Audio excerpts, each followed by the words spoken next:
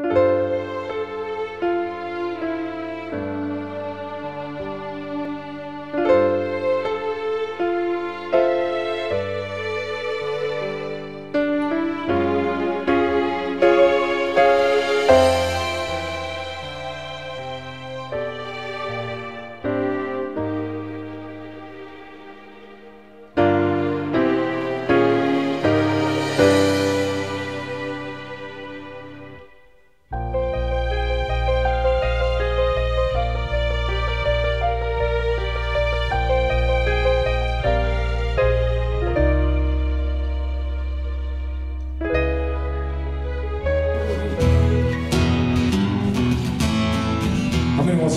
wants to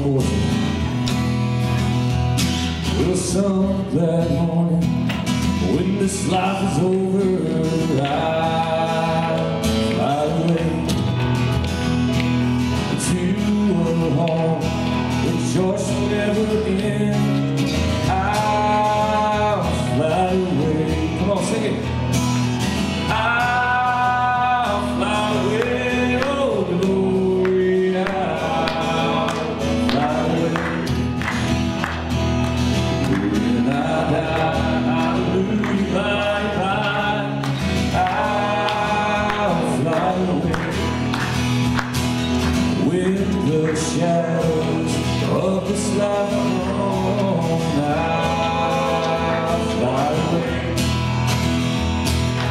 like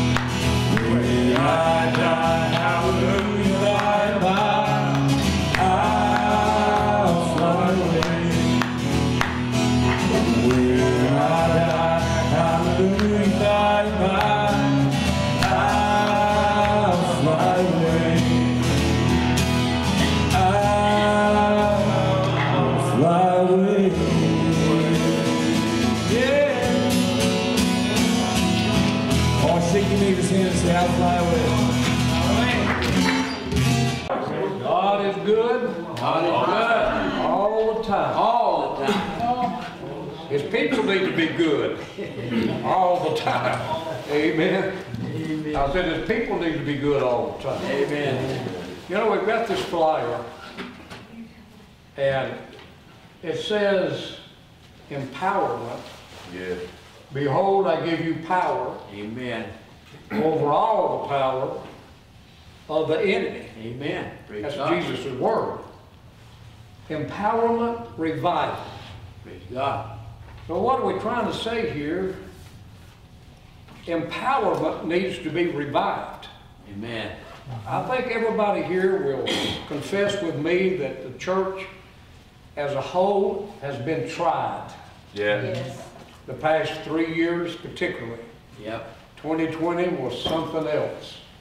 2021 was right behind it. 2022, we're kind of getting a little bit of a break, but we don't know what in the world's going to happen next with all Amen. the wars and the rumors Amen. of war Amen. and everything that we hear out of Washington and all the different countries of the world. We are living in perilous, precarious times, troublesome times. And it's exactly what Jesus prophesied would happen.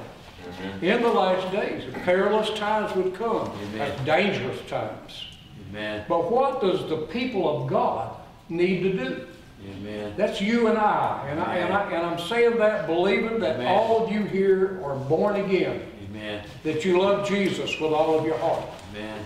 that you have made your preparations to go to heaven and not to hell. Amen. Amen. That's a preparation everybody's got to individually make. You must be born again. Amen. So I want to talk to you tonight as if every one of you has made that decision and that you are a child of God. Because empowerment is what Jesus promised us. He didn't promise us that we would have a, a lifestyle here on planet Earth with all the troubles, the trials, the temptations, and the fighting of the devil without empowering us to have victory over all the power of the enemy. He left a body of people here, a church, full of the Spirit of God, that actually turned the world upside down. Amen. Amen. 2,000 years ago. Now think about this. There's no television, no radio, no kind of communications whatsoever except word of mouth. There was no telephone call to anybody, no point in printing up a flyer to send it out. There was no printing press. Amen. There was, everything had to be handwritten. So if, if the, the, the letters that we read in the New Testament were all handwritten and copied and copied and copied over hundreds and hundreds of years before there was ever even a printing press. Amen. But back then, they turned the world upside down. Yeah. And not just the apostles, but the church as a whole. Yes. They understood that they had been empowered, that the Lord Jesus had promised them to wait for the promise of the Father. After that, which when the promise came, they would receive power. Amen. And they would receive power to be witnesses of Him in Jerusalem, in Judea, and to all the world. That power was going to enable them to reach a lost and dying world without any kind of communications except the word of mouth. Now, I don't know if you ever thought about that or not, but I have, and I thought, how in this world Yeah. that about 120 people there at the day of Pentecost, in which turned the world upside down from that point on, without any kind of communications. Look at the difficulty we have trying to get a message out today. Yeah. We've got Facebook, we've got the internet, all kinds of different uh, social media outreaches that we can get on, YouTube and television, radio, telephone, you know, texting and all kinds of, I mean, look at the problem we have reaching the world today with an understanding of what Jesus taught the disciples. We have a problem, and that's with communication, but yet we're the most communicative people that has ever lived. The world is so small now. Yeah. That's why you hear when Russia gets defeated in a battle in Ukraine, you hear it before the battle is even over with. Correct. You hear it before the battle's even over with. Or if Russia wins a part of the, the battle or it overtakes a city, you hear that news somehow or another while it's happening. As I speak here tonight, I mean, we could, you could turn on the TV. If there was an event happening in India, you would be able to see what's happening in India right now. That's the kind of world that we live in. So we're living in a world that's gotten smaller and smaller and smaller, communicating wise. We're communicating with one another. But one of the things that's not being communicated is the empowerment that I'm speaking of. Because if we had been able, and I'm talking about preachers, if preachers had been able to convince the church of what Jesus said would happen to them, and that in reality they were empowered over all the power of the enemy, we would have not have suffered so much loss of lives and sickness and all that's happened during the past few years. You understand what I'm saying? I'm telling you that we have the power to overcome COVID-19. We had it then, we have it today. Amen. We have power to overcome sickness. We have power to live godly and holy in this present world. Amen. Jesus has empowered us. Amen. He gave us the right. He gave us the ammunition to fight against the devil. Amen. Amen. In other he, He's already given us everything that we need. Yes. Come on. Amen. There's a scripture uh, where Jesus said, You shall know the truth, and the truth shall make you free. Set you free. And I've heard many people preach about that, and I've preached about it a lot of times myself. But there's one thing that we miss sometimes in that declaration, and that is this. It's the truth that sets you free, yes, but without your knowledge of that truth, Amen. you can't be set free. Amen. So it's what truth that you know is what really sets you free. If a truth came to you and you all of a sudden realize that you already have what the Bible says is power, when you got born again, when you got saved, when you got filled with the Spirit of God, there was an anointing and a power that came into your life. Without understanding that, that power would lie there dormant because it's not being brought out. Your realization of your mind is not figured out that you do have that power until you take the Word of God and you read the Word of God where Jesus says, Behold, I give you power over all the power of the enemy, and nothing by any means will harm you. When you read the Word of God that Jesus spoke and, and said, These signs shall follow them that believe. Yes. In my name they Amen. shall cast out devils. Right. They shall lay their hands on the sick, and they shall recover, and on and on it goes. And then when you read that word, something begins to stir in your soul. And it is an awakening that Jesus is speaking to you. And he's telling you, this is the truth I want you to know.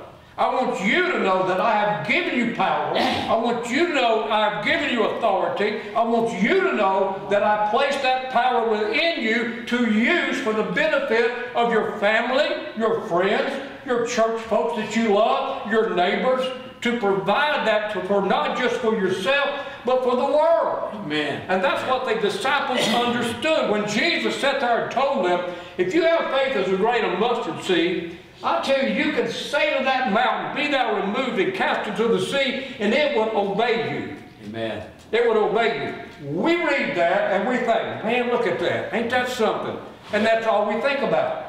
We don't think about the Lord is telling you that. Yeah. That if you had the faith as a grain of mustard seed, one of the smallest seeds, if you had just a little bit of faith, you can move a mountain.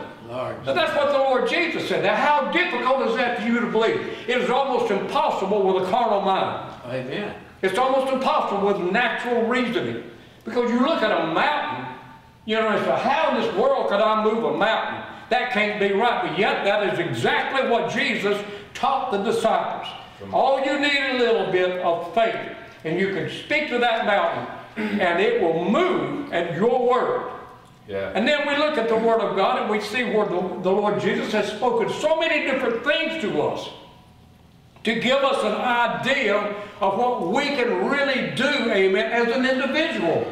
But yet, what do we do? We come to church or we seek out, we try to seek out somebody that's anointed. We try to find somebody to pray the prayer of faith for us. Yep, we try to find an individual somewhere, whether dead or alive. We search the internet. We're trying to find a word from God. We're trying to find a revelation from God. We're trying to find somebody that's got the power to heal us or to deliver us or to set us free all the time. The Word of God telling you that Yeah. you have Amen. power Amen. inside of you. Amen. And that's what we're trying to get across here. That's what this word about empowerment, revival really means to me. It is a reviving of faith. It is reviving of the Word of God, the knowledge that God had given us by His Word, that He has empowered us to live the kind of life that He has chosen for us to live and to be the overcomers that He has ordained for us to be. Can you say amen? Amen. So if we had been able to communicate that, like we try to preach it, we try to bring it to, to people's attention. Look, you don't, you don't need the preacher down the street. You just need to operate in the realm of faith that God has already put in your heart.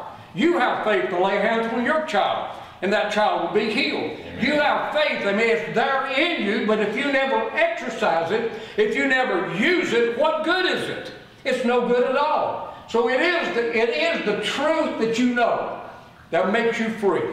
See, Jesus comes to set us free of a lot of things. He make he comes to set us free of sin. He comes to set us free from the doctrines and teachings of men. He comes to set us free from religion. He He come to set us free from so many things. He also come to set us free from the oppression of the devil and from sickness. Amen? Amen. Because if the Spirit of God is in you, and I believe if you're born again, you have the Spirit of God. You can't be born again without it. So that Spirit, when Jesus talked about when He, the Spirit of truth, has come, He will guide you into all truth. So why do you have to continually go to somebody to find truth? Why can't you open up the Word of God and pray and say, God, I don't understand this Bible, but I know that your Word has said that the Spirit of God, the Holy Spirit, would guide me into all truth. Yeah. Now, Lord, I'm praying and I'm going to open my Bible up. And I don't understand this, but I believe that you're going to inspire me and teach me the Word of God. Do you know the Bible says that you have an unction with the Father Yeah. and you know all things? That unction, that word means anointing. You have an anointing with God the Father and you know all things. Where do you know all things at? It's in your spirit, man. It's in here. It's not in here. So the knowledge that God is imparting is not in here. It's in here. It's a know you spirit. It's a spirit that says, I know I can do all things through Christ that strengthens me.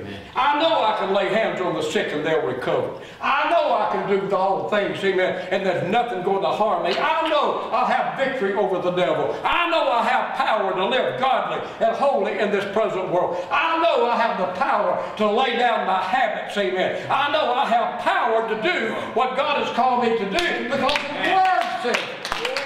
It's what His Word says.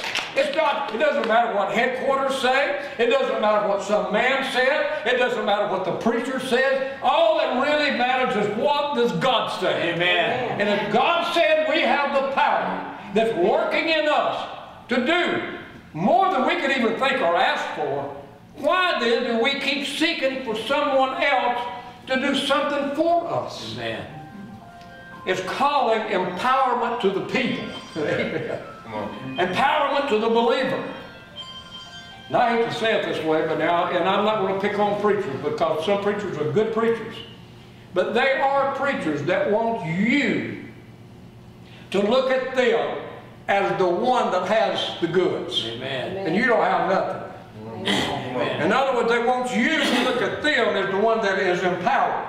Yes. They want you to look at them as the one that they are the gift to you. Amen. Yeah. That the preacher is the gift of God given to you. Yes. And that if you're going to hear from God, you're going to hear it from me. Yeah. If you're going to be healed from God, you're going to be healed when I lay hands on you. That is a way a lot of preachers today look at ministry as it, it is, a, and it is a leadership ministry, but it's follow me as I follow Christ. Amen. That's right. In other words, you're- it's not follow me. It's follow me as I follow Christ. So Christ is the one that we're following, the Word of God. But a lot of preachers use that to keep the people not empowered, but always desiring, always seeking, you know, I've got to call the minister. I've got to call the pastor. I don't know what I'm going to do. I'm going crazy. I can't, I, I, you know, I, I, my, my knee hurts, my back hurts, my foot hurts, my, you know, I'm hurting everywhere.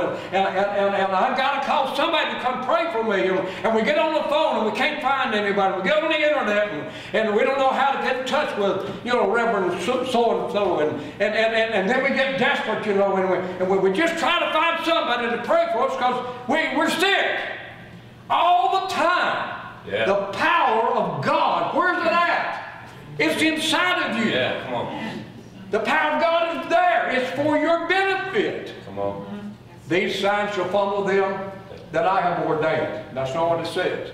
These signs shall follow them that I gift. That's not what it No. said. These signs shall follow them that I have selected as my special ones. No. That's not what it says. No. These signs shall follow them that believe. Believe. So the word believe means have faith in. That's what the word believe means. Have faith in. Have faith in what?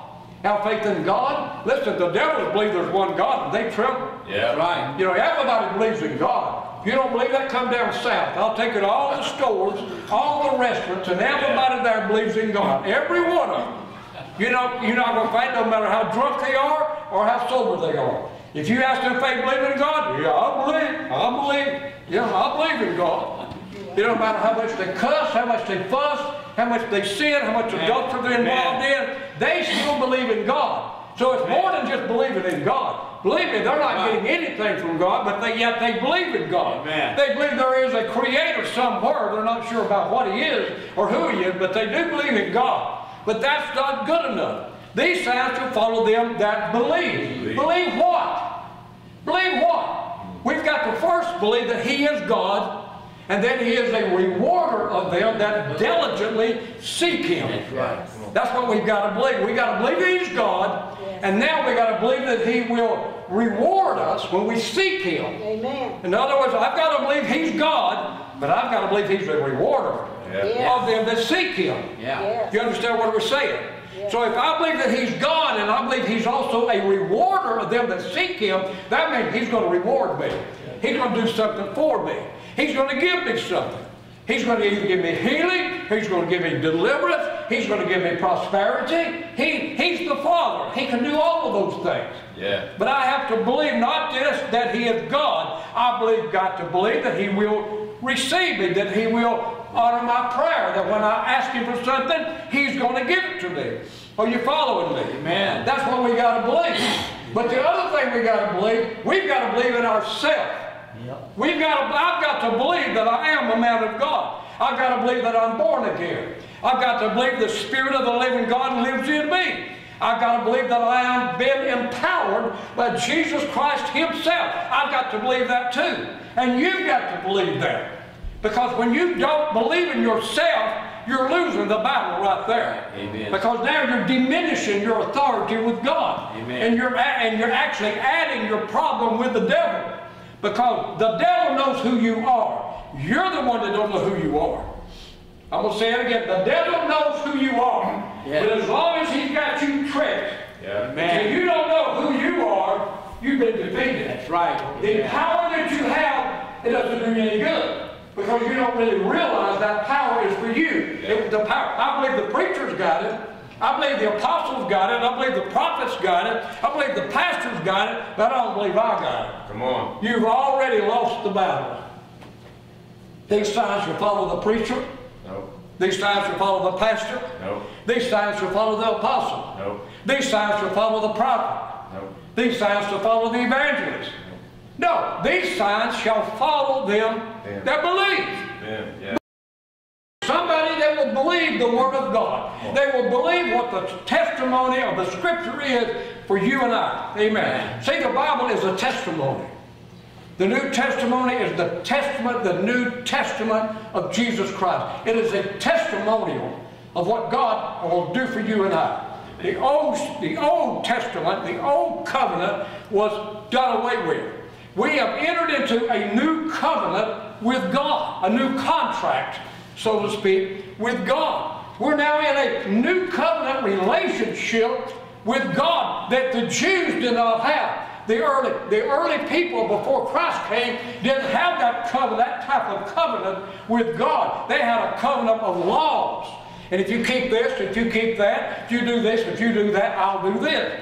If you don't do that and that, I'm not going to do this, I'm going to do this to you. That was the covenant, the old covenant. But the new covenant, the new, somebody say new covenant. New uh, covenant. It is a covenant, a relationship covenant between you and God. And God is saying, if you will believe in the, in the bloodshed of Jesus Christ, that Jesus came and died on the cross for you, that he shed his innocent blood for your sins or for your deliverance and your healing, and yet he died, but yet he rose again the third day. If you will believe the testimony of Jesus and his apostles that were eyewitnesses to that event of the resurrection of Jesus Christ. That's the first thing you got to believe. That's why there's so much battle against the resurrection today. Nobody don't like the word resurrection.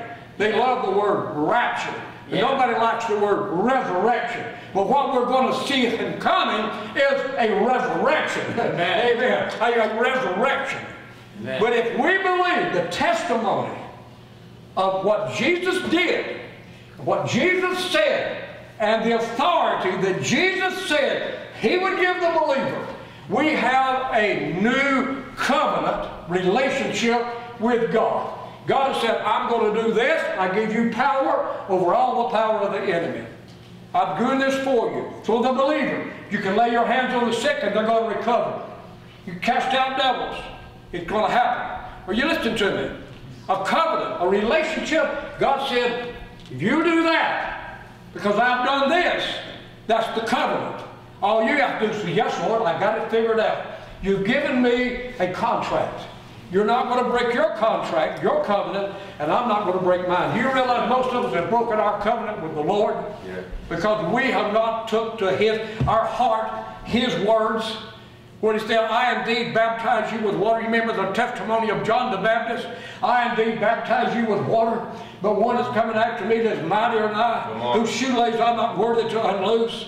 Oh, yeah. he said, I baptize with water, but he's going to baptize you with the Holy Ghost and with fire. Amen. He's the Holy Ghost baptizer. Yeah. So when that event happens in your life, it's complete.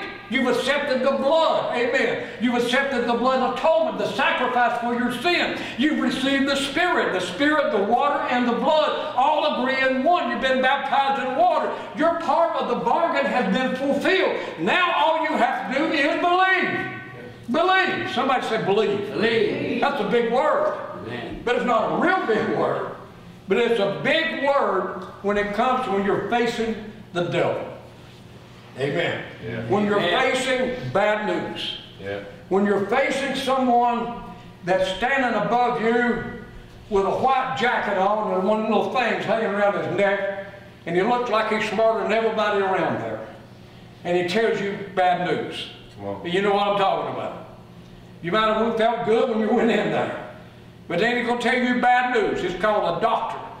And when he tells you that bad news, what happens? All of a sudden, you walked in there, you felt pretty good. You got the bad news, what happened there? You walk out of there depressed. You mm. walk out of there with your head down. You have been defeated. You have let one person, one man, defeat you with one statement. Mm-hmm. And not a lot of times it's you have cancer. A lot of times it's you have heart trouble. Yeah. A lot of times it's this or it's that. It's something deadly, something bad has happened. And you're, and you know, uh, our brother uh, uh, Chad was giving me a testimony. Might tell you about it later. A doctor told him he, I think I hear a leaky heart. You know, he was feeling fine. He was feeling great. Yeah. But then all of a sudden, leaky heart. What do you mean leaky heart? My heart leaking? Where's it going? You know what I'm saying? Yeah. Leaky heart. Well, that gets on your mind, see, and it just robs you of faith. Next thing you know, Brother Chad, he's feeling worse. Day by day, he's feeling worse and worse and worse and worse. Yeah. But one day he wakes up and says, wait a minute. Wait a minute. What's wrong with me? I ain't got no leaky heart. Praise God. Amen. Amen. I'm not going to accept no leaky heart. I'm not going to accept this. Yeah. Amen. But most of us never get to that point. Amen. And he'll tell you if he testifies about it, he'll tell you once he made up his mind, hey, I've not no leaky heart. Man, all of a sudden he starts feeling great. Yeah. Come on. He's ready to run, you know, one of those races that run. He's ready to do whatever's got to be done, man. He's working day and night now. Yeah. But before he had a leaky heart because somebody told him that. Come on. It's called robbing you of your faith. Yeah. Robbing you of your rightful place with God. Man. Now listen, I realize every one of us will leave this planet by death. Appointed, appointed a mon- man wants to die, and then the judgment. Amen. Unless we're here when Jesus comes back. And then some of us that are alive and remain will be caught up together with him in the air. That's the word of God. That's the last trump, the last sounding of the trumpets of heaven. At the last trump, Jesus comes back and the church is resurrected. Those that are alive and remain is caught up together with them. Amen. That's going to happen. But until that time happens, and we don't know when that will occur, but when it, before it happens, you and I, because of our bodies, because of sin in our younger lives, a lot of times, it's going to die. But the Bible says, though the outward man perish, the inner man is renewed day by day. Amen. Praise God. Are you listening to me? Amen. Now, how did his inner man get affected with that? How did his inner man get impacted with that? Because it's connected to the outer man. We're all, we're, we're listen, we're one spirit with the Lord. We are spirit people. But we live in a body.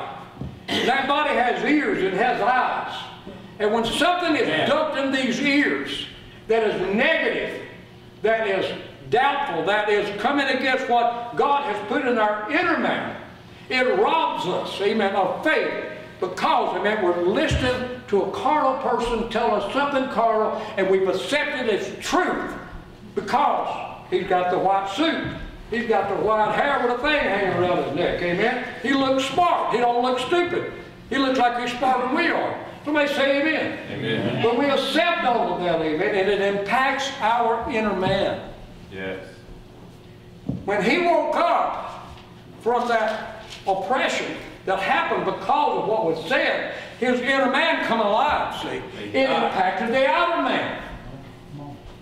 He could have had a leaky heart. Mm-hmm. He could have. Mm-hmm. But see, he's rejecting that.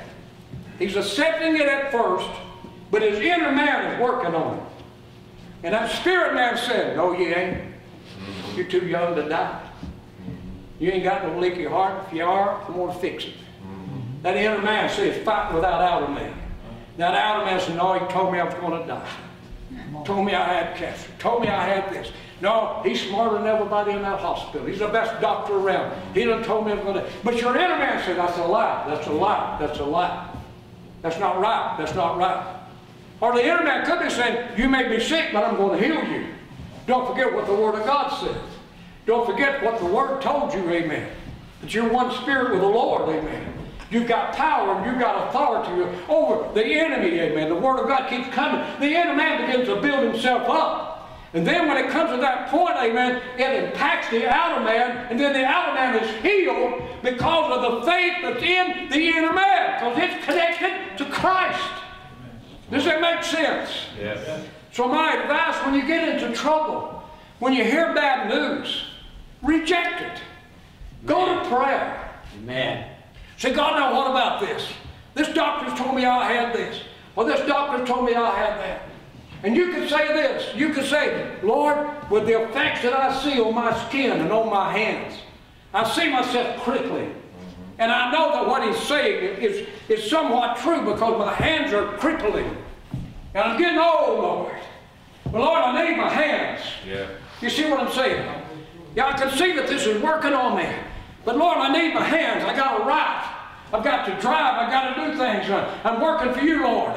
And you're praying, you're asking God about it. That is getting a breakthrough in your spirit, man. It's getting a breakthrough to overcome the natural reasoning of everything that you're seeing with your naked eye or you're hearing with your ears, amen. You're, you're getting to that place to start rejecting that, amen, and then begin to walk in faith, amen. See, when you walk in faith, you're not walking by sight, amen. You're not walking by what you see, amen, of your hands getting crippled, uh, or a problem with your knees, or a problem with your legs, or whatever's going on in your life, amen. When you begin to walk in the Spirit, man, amen, you're, you're, you're overcoming those natural feelings, amen, and you're building your faith up, amen, and you're getting to that place for your own deliverance. Amen.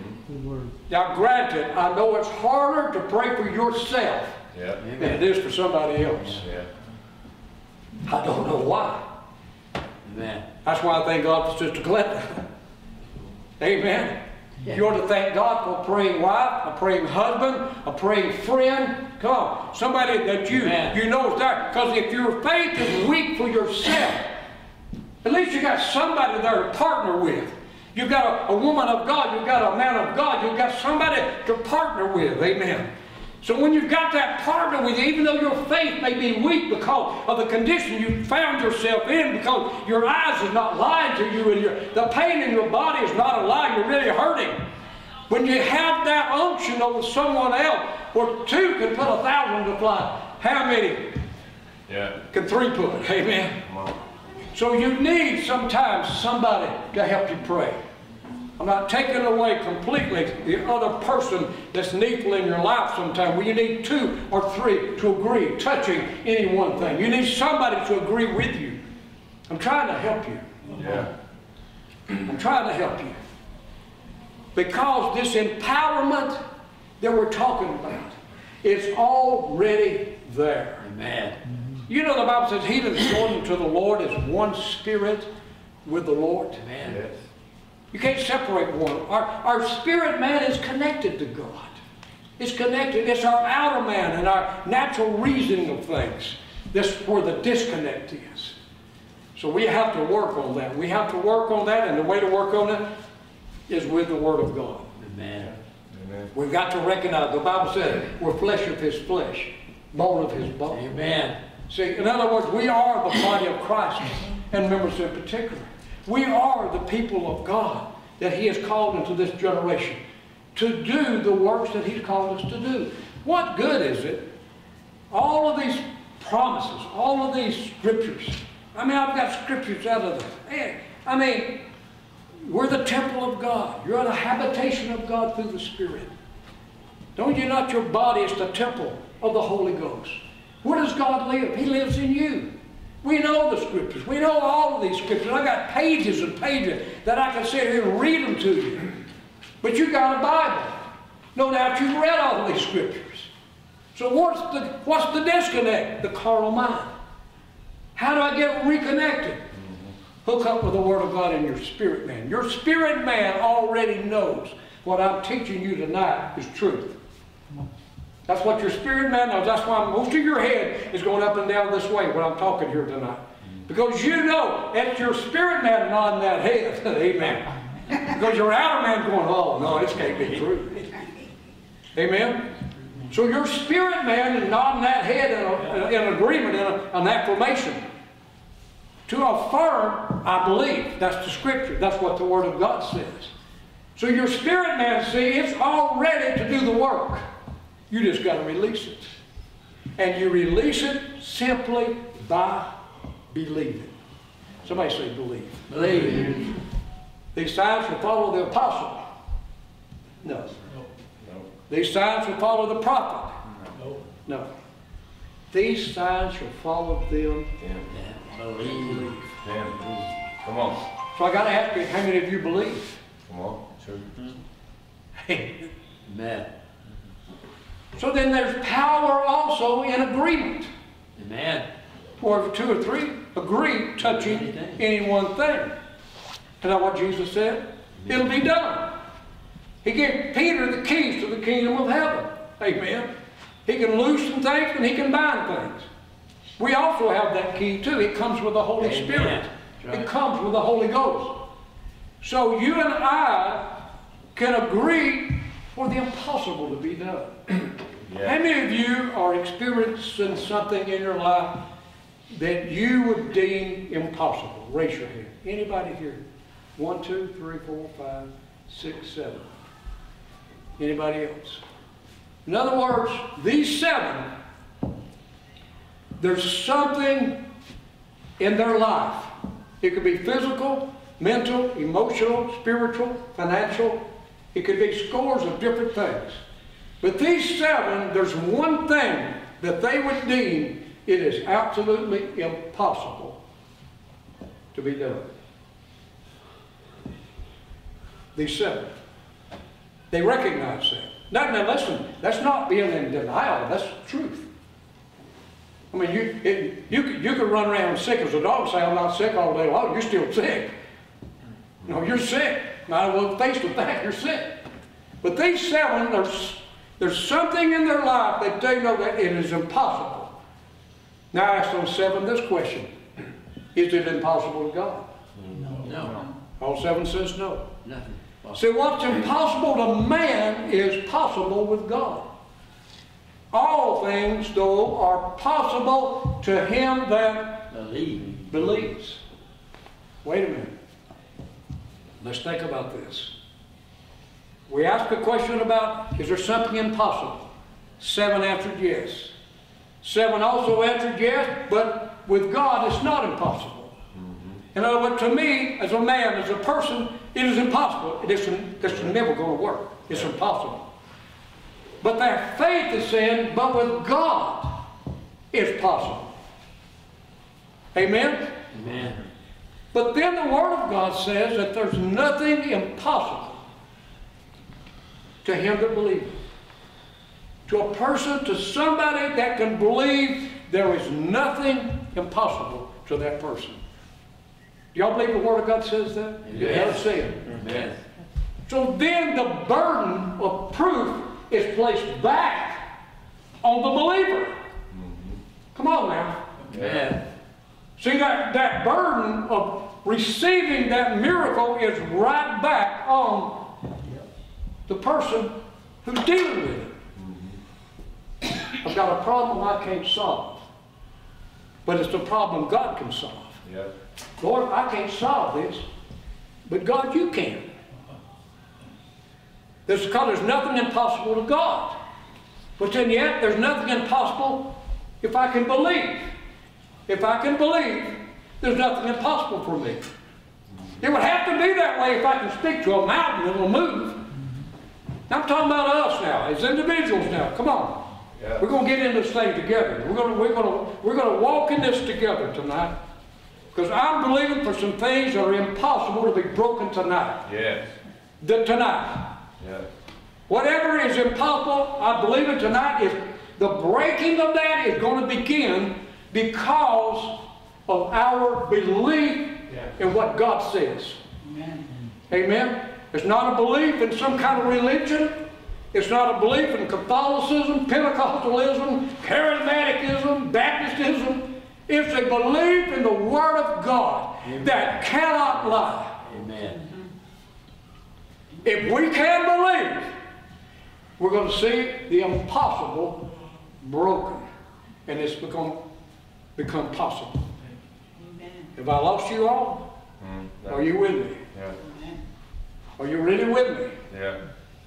Now, what I'm basing this on is nothing but what the Word of God says. I'm not basing it on any kind of theology. I'm not basing it on any kind of strange teaching. I'm basing it on what God's Word said. These signs shall follow them that believe. I give you power over all the power of the enemy, and nothing by any means shall harm you. I'm, I'm based it solely on the Word of God, that nothing is impossible Yes. if we believe. Remember, the woman that pressed through, that touched the hem of his garment. Amen. You remember that? How many times have I preached it? Zillions of times, if there's such a word. Those zillions of times was this. That woman's faith is what healed her. When Jesus turned, he said, somebody touch me. That woman had pressed through that crowd, Hallelujah. which was a hard thing to do. I'm not going to get into all of that. But that woman had said to herself in her thoughts, she thought this thought, if I just touch that hem with that garment, I'm going to be made whole. That was the thought she had. And that thought that she had, you know what it did? It germinated a seed of faith in that woman. Amen. I really believe it germinated a seed in that faith, of faith in that woman. Amen. Mm-hmm. And that thought, she's actually prophesying as she's speaking something to happen. She's prophesying to herself. She didn't tell nobody. She said within herself, if I touch his garment, Yes. I'm going to be made whole. She plowed her way through that crowd and reached out. I don't know how, grabbed that garment, touched it immediately. Jesus stopped and turned around and said, Somebody touch me. Jesus. And the disciples said, Well, everybody's touching you. He said, No. He said, Somebody touched me. I felt virtue go out of my body. I feel the Holy Ghost. No, no, no. Somebody touched me. Then she come and said, Lord, it was I. I did it. He said, Woman, thy faith has made thee whole. Yeah. Come. Thy faith has made thee whole. Which is harder for God to do? Your impossible or that impossible? The woman has been to doctors one after another, spent all of her money, yet still she had that issue of blood. Which is easier for God to do? Dry up that woman's issue of blood or remove in your problem area and what you need a miracle for? Which is harder for him to do? There's nothing too hard for God. Amen. Nothing. Amen. If you and I can touch God The way that little woman touched God with our faith. Yeah. Somebody say, with my faith. My Faith. I gotta believe my beliefs now. I gotta start doubting my doubts. Yeah. Come on. I, got- I gotta get rid of every doubt. Spirit of doubt, in the name of Jesus, you leave this place by the power of Jesus' name and the Holy Ghost. Yes. And let the, let the spirit of faith, Jesus. Yes. let hope be revived. Thank you, Jesus. Let hope be revived Amen. in the minds of God's people. Name of Jesus. Let's walk in this. Let's, let's see something happen tonight. Thank you, Jesus. It's undeniable that God's word is the truth today, just like it was 2,000 years ago. on. That God's word is not lied. It is still the truth. Amen. Still God seek it out. Shall I find faith on the earth when I return? Jesus said. Will I be able to find anybody that will believe me? That will believe my words? That will believe my prophets? That will believe my apostles? Will I find anybody? You got to make up your mind, Lord, you can find faith in me. I'm going to believe this. I'm, I'm, I'm, stepping out of this carnal realm. I'm stepping into this empowerment that God, I know you placed in my body. In the name of Jesus. The name of In the name of Jesus. I want those seven to stand up right now. Come on. Come on, stand up right now. Those seven stand up. You, you said you had a prayer. One, two, three, four, five, six, seven. Let's line up right here. Come on. It's not, it's not going to be no laying on of hands. It's going to be speaking something. Come on. I want us to speak it. You don't have to speak this out loud. Just a little woman, she, she said it within herself. You understand what I'm saying? God knows your thoughts. You don't have to whisper it. You don't have to yell it. You don't have to scream it. You don't have to lift your voice to God. I do it because I just got a habit of doing it. God's got hard of hearing. He hears perfectly, and He knows your thoughts. So I want us to know this now, every one of us. Let us believe. And that little woman said within herself, Lord, if I touch the hem of that garment, I'm going to be made whole. I want you in your mind, whatever you need, that impossible to be done, whatever it is, I want you in your mind right now to think those words. Let your mind think, Lord, this thing that I've deemed impossible to man, and it is, but it's possible to you, God, and I am believing. I am believing in the impossible to be done in my life. I'm believing, Lord, in the impossible. I'm not going to sit back. I'm not going to stand back. I'm not going to sit down. I'm not going to give up. Lord, I'm believing because of the Word of God that's been ministered tonight, because of the Word of God that has been written by holy men of old and given unto us that we might believe. I believe. In the name of Jesus. That tonight, somebody say tonight. Tonight. There is the beginning of a breaking of this un thing that is that is so impossible, and God's going to break it. They say God's going to break it, and it's going to be the possible is going to occur in Jesus' name. Now I want you to raise your hands. Come on, everybody. I want us to raise our hands. And I want to say, Father, I thank you. Come on, let's say, Father, Jesus, I thank you. I thank you, Lord. Thank you, Lord. I thank you, Lord, because you've answered God. what has been deemed impossible. Thank. God, there's nothing impossible to you, and there's nothing impossible to me because I believe your word. In Jesus' name, it's done. It is done. Somebody say it is done. Now let's give the Lord. Name of Jesus. Shake hands, somebody say it's done. Take somebody by hand, shake her hand, say it's done. Say it's done. It's done. Praise the Lord. You can be seated. You can be seated. You can be seated.